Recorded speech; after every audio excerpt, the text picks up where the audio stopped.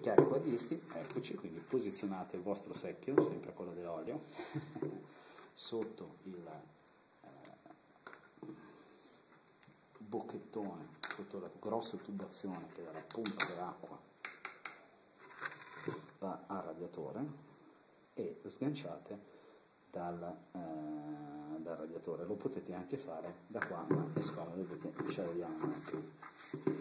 Quindi ci posizioniamo e lentamente andiamo a sganciare il, la nostra grossa tubazione dal radiatore e poi sganceremo la tubazione piccola dal radiatore, intanto predisponiamo l'uscita delle varie fascette magari utilizzando una pinzettina a becchi piccoli e lunghi che vi consente l'utilizzo. Poi con un piccolo cucciolitino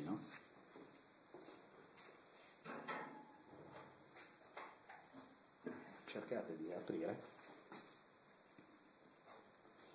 il vostro tubo, non hanno, è ovvio che qualche piccola incrostazione sia.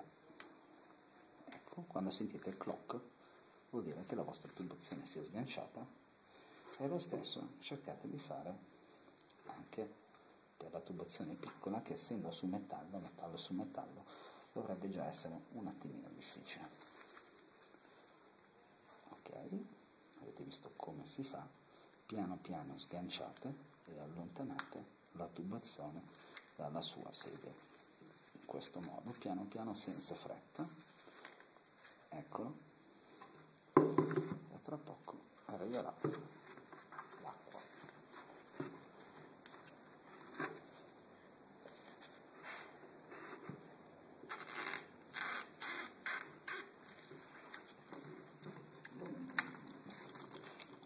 Il tutto senza buttare via e sporcare, ovviamente.